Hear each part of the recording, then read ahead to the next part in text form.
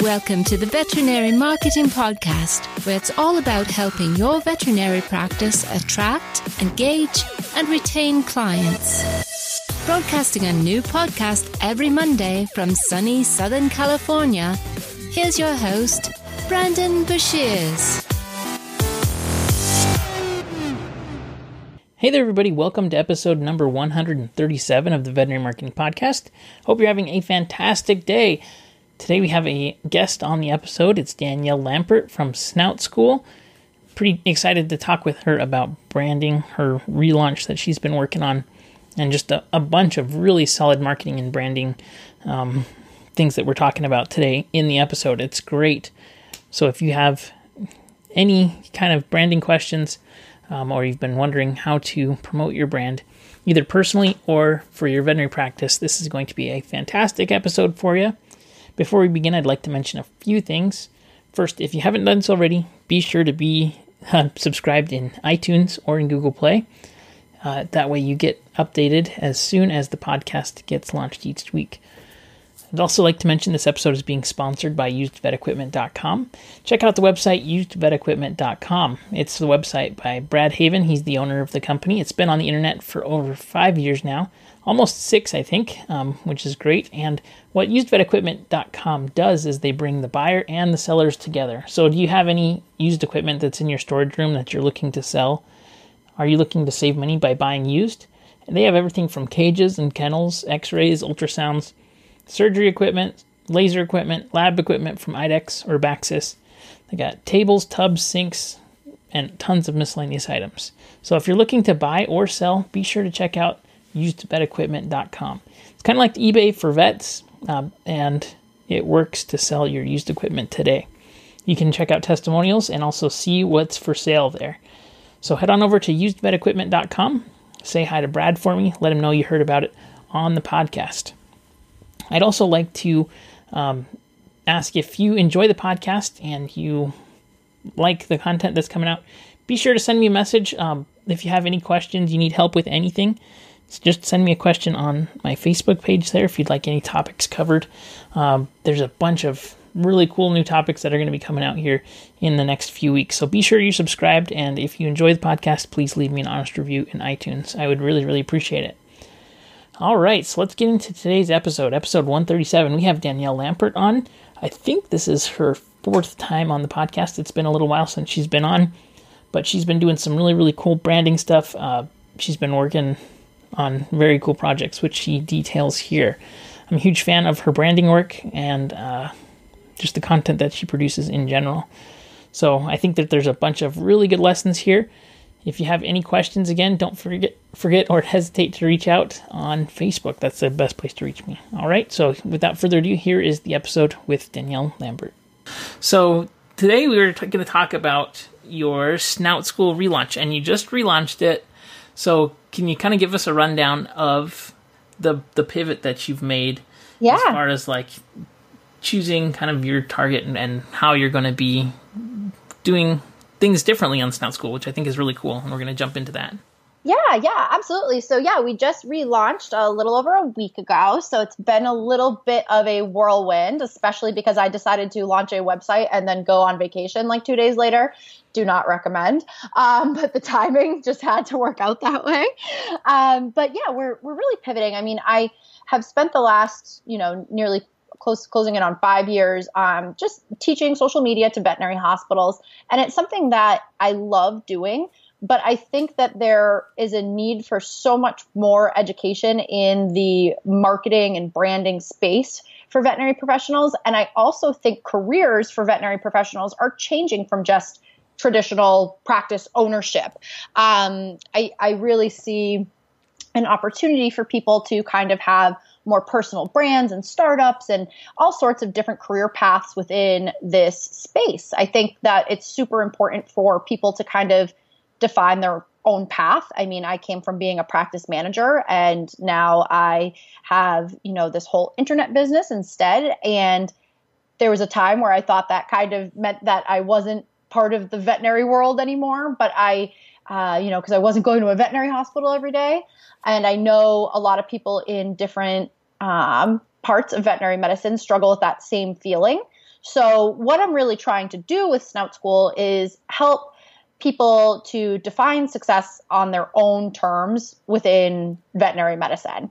Um, and I know that's like a super broad statement, but really what it comes down to is I have skills in marketing and branding from building out the Dr. Andy Roark brand, from building out the Uncharted Veterinary Conference brand, um, that I really just want to take and transfer to other people in veterinary medicine who might want to, you know, forge their own kind of path in this space. So that's kind of the big pivot that we're taking, where it's not just about um, education for veterinary hospitals. It is something where it can be for veterinary businesses and brands, um, meaning you know personal brands, things like that. I think that's the big pivot that's really happening here, but it's still going to definitely be a resource for all your marketing needs. totally. Yeah. Well, I mean, that that makes a lot of sense to me because you are amazing at branding as well as all of the other marketing stuff, and I think branding is a difficult.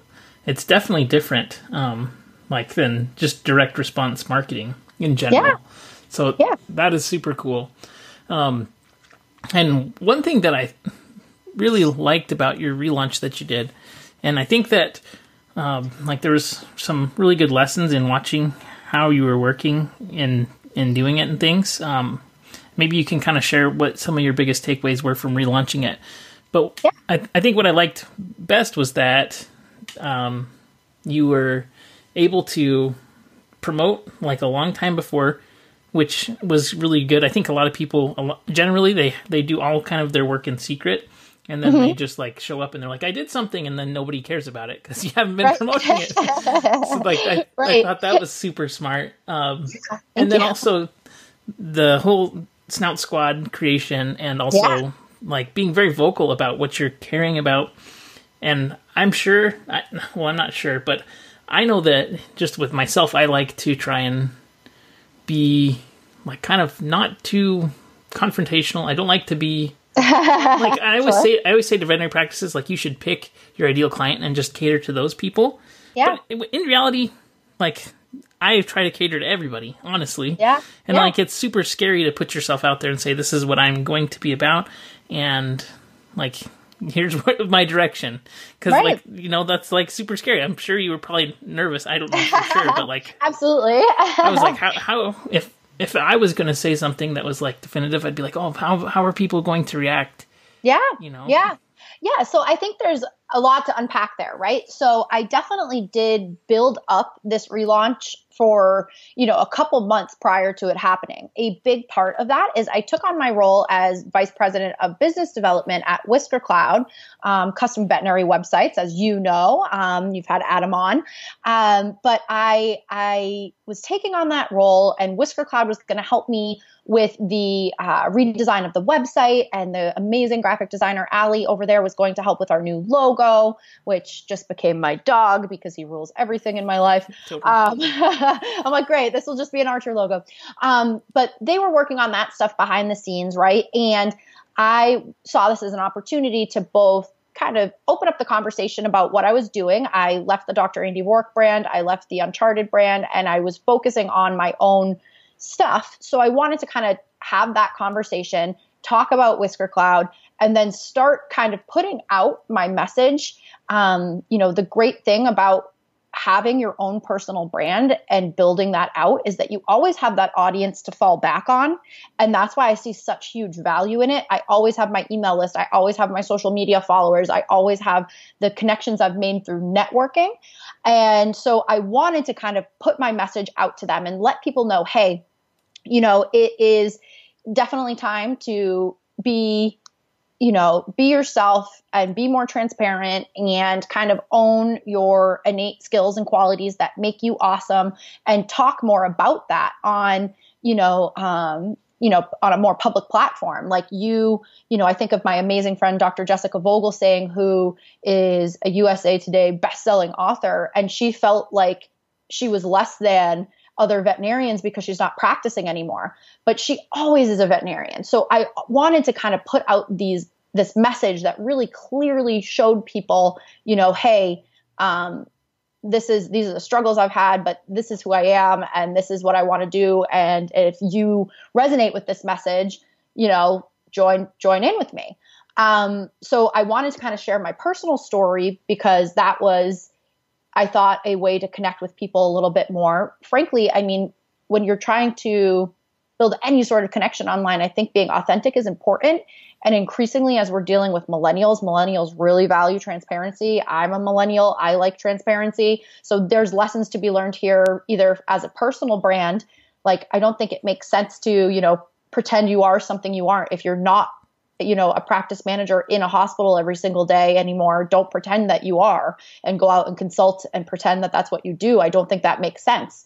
Um, but the same thing with, you know, as a veterinary hospital, you know, if you you know maybe aren't the prettiest veterinary hospital on earth like you got to still kind of show off who you are and show the behind the scenes um, no matter you know what you're working with. So there's a lot of lessons to learn there whether you are consulting or running a veterinary business i think. Um, so that was kind of why it was important to me to kind of have this whole build up, right? To build that anticipation. I always am just like such a hype man anyway, like I had to, it was in me, uh, to build up like anticipation for this. Um, so that really is why I did it. Um, and I can kind of dive a little deeper into the snout squad and everything that that, you know, the role that that plays. That's like a whole nother conversation. Totally. um, yeah. So I, I brought in, you know, I just, I've really found throughout my career that there are so many, you know, so many women, especially I find, that are doing amazing things that don't necessarily like own it or get credit for it. Okay. They might kind of be behind the scenes. Um, you know, you think about people like, you know, Dr. Vogelsang and I were kind of always behind the scenes on the Dr. Andy Roark brand. Um, and that's the role we chose, and that's totally fine. But it is something where you know you might be like hey i kind of want to be out front you know like that that's not the role i want. Um, or you have amazing people that you know um, that kind of have all different kinds of skill sets um, and different platforms but maybe don't get again the recognition that i think that they deserve. So i know all these amazing women and i wanted to bring them in and have a diverse group of women that could be seen as leaders in this space. And I wanted women who were at different points in their career and that were doing different things. So we have everything from a, you know, board certified veterinary oncologist like, um, you know, Dr. Sue Ettinger that does Dr. Sue Cancer Vet. Um, and we have a, um, everything from something like her to somebody that you know, like Tracy Dowdy and Debbie Boone, who are amazing CVPMs with tons of experience. We also have vet students. We have the entire uh, VBMA board right now is involved, um, and vet students that have big social media presences and are kind of doing different things as like a personal brand as vet students. And then we have women who are awesome social media managers uh, for clinics that maybe may or may not really get the credit they deserve for being amazing social media managers. So we have women from these diverse backgrounds that are at different points in their career and have different things that they can share. And they are like the official squad. We're going to share their stories and they are going to offer up their skills, you know, on webinars and blogs and things like that so that people can learn from them. Um, but it also is something where, you know, anybody that kind of resonates with this message that's trying to kind of define success on their own terms can, um, you know, still be part of the Snout Squad and be involved in sharing our message. So that's kind of why I'm I'm doing that, just because it was a I didn't want it to just be about me, right? Like I named Snout School in a very purposeful way when I started it, so that I would it wouldn't just ever be about me if I wanted to expand. And so now it's kind of that exciting opportunity to seize the day and bring 30 amazing women on board with me. That's really cool. Um, yeah. Totally. I think that it there's there's a lot of cool things about that. So, um, is is Snout School open to like more people, or is it just right now those initial 30? So the Snout Squad right now is just those 30 women. We're going to probably this is new, so I'm I'm, I'm going to see how this kind of ends up going. But think of that Snout Squad as like kind of we're like this like little secret mastermind where we have a Slack channel and we talk amongst each other and we're mentoring each other and helping build each other's brands. And so that's kind of like a little um, you know, a, a little mastermind aspect of it. But we want to take those skills and share them more publicly, what we're learning from each other and what we're learning as we, you know, um, go through our careers. We want to share that with other people. So 100% anybody can be part of the Snout Squad. We have at snoutschool.com slash start. We have the Snout Squad starter kit which is a uh, kind of a really cool little package of all different things. There's stuff from Dr. Jessica Vogelsang about how to kind of create your story. Um, there's I, I, made a playlist of some. Uh, I always need my music to kind of get me going when I'm working on stuff. So there's like a, a fun Spotify playlist in there to amp you up. There is our Snout School code from Dr. Cindy Courtney, who does the Jerk Researcher. Um, and our code is really kind of, you know, how we treat each other and what we believe in. So anybody that kind of, you know, is resonating with this message could go get that kit. We're going to be sending out emails that detail the stories of these w- women. We're going to let you know when we have webinars on different topics. Um, so anybody can be involved in the squad. It's just we're having that specific official squad um, of 30 women because we can kind of share their stories and really focus on them um, for an indeterminate amount of time. I'm kind of where it's up in the air right now exactly how this is going totally. to work. Uh, we're seeing it. We're playing it by ear. That's kind of my style. that's, that's, a good style though because it gives you flexibility yeah. to change as yeah. things work and stuff. So that's that's awesome. Yeah. Well, cool. Absolutely. So um, let's let's talk about uh, branding in general because I think sure. that like um, you you have so much experience and um, skills in this, and hmm. I'm seeing a lot of practices take branding kind of. They're they're like it's really interesting. I mean, you've you've been doing this for five years, which is like 200 years because digital marketing dog years exactly because it's it's just amazing to see everybody come around and you know people commenting in your group yeah i mean just like the level of involvement that people have in digital marketing and branding and brand building. And so I, th- I think that's that's really cool, and it's probably like a direct result of the work that you've done. Seeping in finally, yeah. Finally, it took you know five years, but finally yep. it's starting to come around. Um, exactly. so that is a question that I get a lot. Is um, you know, like what what should I focus on with branding? And I I do see a lot of people asking about personal branding, which probably isn't my my strength at all. So can you kind of give us when when somebody asks you what what should I focus on with my hospital brand first and then my personal brand second? Kind of what yeah. are your best practices and, and things in general? Um, some key takeaways is I think first and foremost, it's so important to realize that branding isn't just a logo. Um, it goes into your whole story and the experience that people have when they come into your practice. So when we're talking about a veterinary hospital, I'm talking about something where you are creating a very consistent and defined message throughout the entire interaction that somebody has with you. Um, so I love, um, you know, with with you know, with a veterinary hospital, I love to really kind of think about, you know, we were talking about choosing your ideal client and focusing on that ideal client.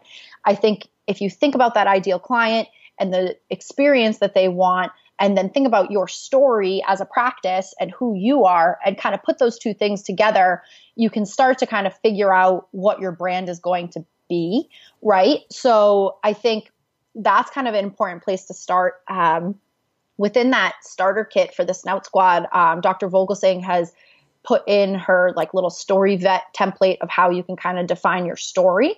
So defining your story is kind of that important kind of initial step once you know who you're trying to kind of attract. Um, and I think that that's, you know, when we talk about storytelling, I think it's just something that is kind of the new version of having a mission statement. We need to go beyond just like, we love animals we take care of them. like we're open. Come to our hospital. Yay! Yeah, because we have to get a little bit more concise with that, um, especially attracting millennial clients. In addition to them liking transparency, they really do like a story, right? You know, they, I think of, you know, on Portlandia where they have the whole joke about like the free range chicken and his name and where he came from and all of that, like all that hipster nonsense. But there's something to that. Um, people want to kind of know that story. So define who you are as a practice and what your story is, what your culture is, what your values are. And that is really, I think, more important to the branding than anything else. From there, I think we need to kind of start focusing on okay, how do we kind of consistently communicate this and how do we visually communicate this? And, you know, so if you might be, let's say, you know, you are a I'm thinking of one of my favorite practices for consistency. Um, and I, so they're a practice that is in uh, Sydney, Australia, and they are like very modern, and they're trying to kind of attract you know young people to their hospital, high end kind of area. So they kind of are going to cultivate this look that is going to be more expensive and clean and high end and modern, right? And that might not be your practice. But if that is your practice, it's going to make sense to have a brand. Um, you know, they're called they're called My Vet Animal Hospital. They're at My Vet Animal Hospital on Instagram. But when you look at their Instagram, you see pictures that are all bright and consistent. You see the same color blue. Everything looks the same. And now I can imagine, um, I would love to go on a field trip and visit them. I haven't been in their practice, but I can imagine that when I go into their practice, I have this same exact kind of experience because they've done a great job of not only using, you know, this look and feel on their social media feeds, but they've actually brought in elements of interior design to brand that in the hospital so that everything looks the same. So if I find them as a potential client on Instagram and I see this bright, young, vibrant, expensive looking practice, I start to really kind of cultivate the story in my mind and then if I go in there and actually bring my pet, I'm going to most likely have a similar experience. So that's kind of what I want people to think about when they think about branding. Um, and I, I, think hospitals need to take this a little bit more seriously, uh, just because, uh, especially you know, small family-owned practices, um, you know, like my dad's, it's it's they're not always you know the norm anymore. We're having a lot more corporate uh, practices come in. So if you want to stand out, you need to level up. Um, it, it is so important, I think, to make your branding look more professional and special. Um, just because people are going to have that kind of expectation. You know, if I go, you know, to my spa, it's all branded the same everywhere and it looks expensive. You know, I, I think that people are starting to have these expectations. And it's not only high end clients, um, there's practices that do a really great job of this that are in all sorts of income brackets and all sorts of areas. But just having something defined that clarifies who you are is super, super important as a practice. Um, I could ramble on forever. I'll spare, I'll spare you. I obviously like I feel very passionate about this, but I'm like, I want your Instagram feed to look like the experience that I'm gonna get. It just makes people feel comfortable. They know what they're going to expect. And I think that's why it's important. It's not just about having pretty things. Like, yes, you can get a Whisker Cloud website. It comes with a logo, and Ali will design you something pretty. But it's about having that same experience online, bringing it offline, and, and having that consistency. Totally, that yeah. that makes total sense. But yeah. uh, you know, um, I think that that is, that is a really good point.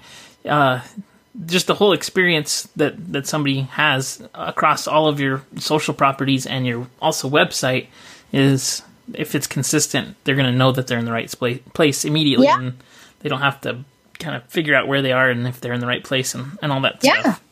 Yeah. I think like psychologically it kind of builds trust, right? Like we've always talked about being transparent on social media, right? Because it can get like can kind of help people get to know, like, and trust you. And I think that the more you kind of have that consistent and transparent you know um, message all around it can kind of help build people's confidence in you it's a messed up thing to think about but you're like okay this this really that that really is a way where people can kind of get to feel like they know you and they know what to expect totally that that makes a bunch of sense i think that's really cool that you are working with whisker cloud now um, yeah and i think that's a really really good fit in general so if if somebody comes to you and says like, "Hey, I have a old website." Which is pretty common, or um, there's some scary websites out there. I've seen a lot. Of I saw a bad one this week. I was like, "Oh man, that's bad yep, news." Yeah. So, um, if somebody, let's say they they wanted to get started um, doing a rebrand of their hospital in general, kind of what is the checklist or process that you go through with them? Obviously, yeah. if somebody wants to, to contact you for for this, they should. Um, but if they're thinking about it, what kind of things should they think about, like a hierarchy of of needs, in your opinion? Um, yeah, so I think again, like everything online, it comes back to your website, and the experience that you are giving on your website kind of sets the tone for the experience people are going to have when they come into your practice. So if it's clunky and awkward and things aren't working, um, that's kind of setting a negative tone right off the bat. So I think it's so important to have a beautiful website that people can actually do business with you on. Um, so first and foremost, I think you know when you're redoing all of this and focusing on you know a big rebrand definitely like we were saying kind of figuring out what your story is a, as a practice and figuring out kind of the key messaging that you want to convey on that website. Um, from there figuring out how you can not only convey it you know um, in words by writing out you know the copy for the website but also figuring out how you can convey it in images right like i was saying that practice that's like very modern and young, they have really nice looking photography. And I think that it levels up, you know, their Instagram feed and their website because it very clearly communicates who they are. I also think of um, there's a practice I uh, hometown vet. They're um, they're more I think they're in Illinois off the top of my head, um, but hometownvet.com. They are a uh, husband and wife team that they did an amazing job of communicating that they are the hometown vet they're this family practice. They show pictures of um, you know everybody that works there and it's got a very cozy feel. So kind of first and foremost figuring out your story how you can communicate it in words how you can communicate it uh, with your visuals and then kind of figuring out like you know the um, you know the technical things like what colors are you going to use? What kinds of things do you want to represent you? I really challenge veterinary hospitals to get away from just like the standard paw print logo. Um, i'm a huge believer in having a logo that is something somebody would want to wear. Um, like i really think that having good um, iconography that people identify with is so important so that it is something that they will connect with on a deeper level than just okay cool paw print. Um, so figure out what you want your visuals to kind of communicate in terms of your actual logos and colors. Um, and that's something where you know if you work with whisker cloud we have our designer ali that helps with everything there um, and from there on in i think it really gets into handing it off to somebody who can kind of take the reins and make this all look really beautiful and cohesive for you um, whether that's whisker cloud or another company but um, you know you want to definitely uh, trust trust a professional to make it all look good totally yeah that that definitely makes sense. Yeah. Well, uh, go ahead. Oh no, go ahead. so, um, I guess maybe one last question here as we as we sure. wrap up because I, I know that a lot of people are thinking about personal branding. Um, yeah. In general, which is cool, I think. So, um, if somebody is thinking like, "Hey, I, I want to create content," um, or I want to create personal brands, not necessarily content, but they have something, they're thinking about it. What kind of is your suggestion for them I know that there's a lot of people sitting on yeah. the sidelines waiting for, you know, I'm not sure what they're waiting for, but they are. uh, so, what are your kind of suggestions for personal branding as well? Yeah. So, absolutely. I think that personal branding is such an exciting opportunity right now, especially as we are getting into a phase of veterinary medicine, um, a, a, part of veterinary medicine's, um, you know, history where we're seeing such a shift toward a female dominated industry where we're graduating, you know, 80% women right now out of vet school. Uh, AVMA is over 50% women. Um, we're really, really becoming a female dominated industry. And there's certain you know catches to that meaning um, work life balance is becoming more important um, so i think that you know for you know people in this space there's such an opportunity to use a personal brand so that you don't need to be in a clinic 80 hours a week to make a living. Okay, you, you know, you might be able to make YouTube videos and make a living off of that. I think there's so many creative ways that you can build um, out a personal brand as a veterinarian or a veterinary professional right now and really monetize that and have some work life balance. So that's kind of why I'm passionate about it. Um, in terms of of doing it, my biggest thing is 100% like you're saying i don't know why they're waiting on the sidelines a lot of people um, it comes down to frankly imposter syndrome people are like i don't know why you would want to hear from me and especially in a female dominated industry where women are more likely to suffer from that doubt um, and it is a very real thing. There are men in this industry right now that are saying imposter syndrome is not real, and it's because they just haven't had to experience it. Um, but women might be sitting there and being like, ah, gee whiz, I don't know if anybody wants to hear from me. Um, the biggest thing is people will want to hear from you if you tell an authentic story. Um, I think it's so important that if you do come out and you're trying to build this brand, that it is authentic and transparent and very you. Don't try to model what you're doing after somebody else. You know, when I was working um, for um, Dr. Andy Roark, people would come to me and they're like, I want to be, you know, I want to be like the do- next Dr. Andy Roark. And it's like, there's only one Andy, you know, there's only one guy in South Carolina that thinks these dad jokes are funny and has that goofy sense of humor. Like he is, you know, he does his improv thing. Like he's a very unique individual. Let him have that. Um, but that doesn't mean that you can't be, you know, you can't have just as many followers as him as as yourself. Go be yourself. Um, so that is one of the biggest things because I see a lot of people falling into these traps where they try to just copy what they see other successful brands doing.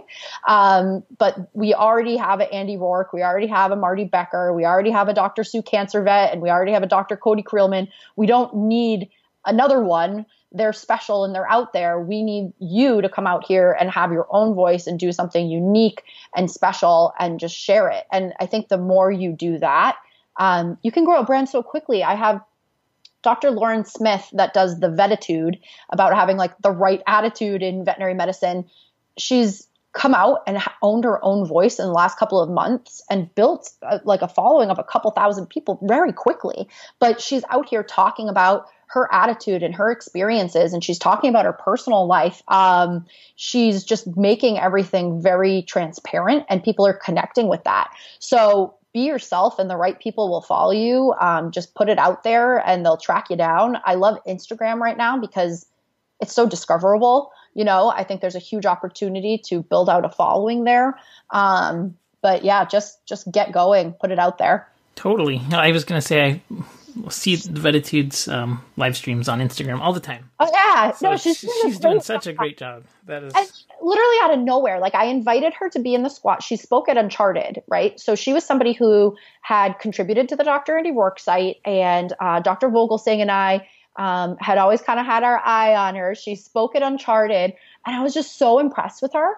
And so I came to her and I was like, listen, I'd like you to be involved in the Snout Squad. And she's like, oh, I kind of want to do something talking about culture and, and, you know, being a little bit more positive.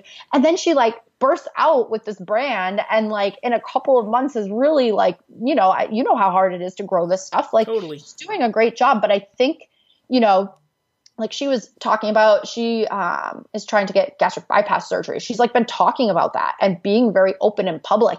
And i think that's why that brand works. It's just like how you know dr sue cancer vet talks about the patients that she loses sometimes. Like being transparent i think is what people will connect with on a different level um, instead of you know all credit where credit is due for like the classic brands that we have the classic veterinary personal brands in this this space.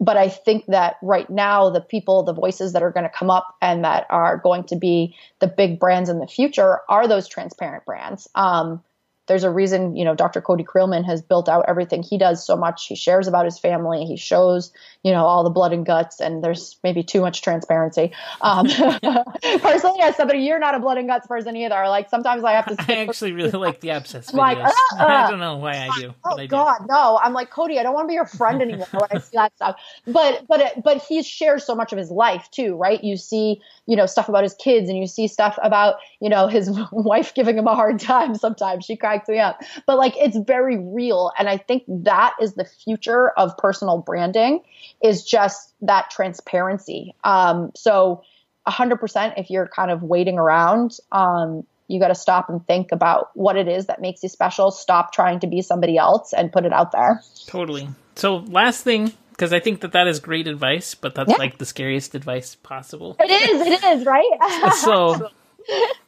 like, what is your tip for actually taking that step and being like out there and transparent? Because yeah. I mean, that that's terrifying to say. Like, this is who I am, because like, that sets you up for rejection and all kinds of things. Right, 100%, right? So that's actually what I think is scariest about this, right? Is if you do put yourself out there and it is your authentic self, and if it's not well received, then that's absolutely terrifying. Um, if you're struggling with that, I think the biggest thing I would say is reach out to myself or the other members of the Snout Squad because I think, you know, a big thing that we want to do is empower each other. So if you're struggling with that and you're like, I am terrified, reach out and kind of feel free to bounce ideas off of us. And if you're trying to launch something, if we can help promote you and support you, you know, sometimes it just helps to even have a couple friends in your corner just to kind of have a few cheerleaders going. Um, so know that we have that support system for you, please, please, please reach out to me, reach out to the members of the Snout Squad. Um, if you look on the new Snout School page, you can find all their, um, on snoutschool.com slash squad, you can find all their contact info, or we're very easy to find on especially Instagram. So reach out. And if you're like, I'm going to put my first post up, like having 30 friends that say they'll go like your post will make you feel a lot more confident. Totally. so you've got that. That's good, good stuff. Well, I, re- I really appreciate it. It's super valuable. Yeah. If people want to get in touch with you, um, um, what, what's the best way right now?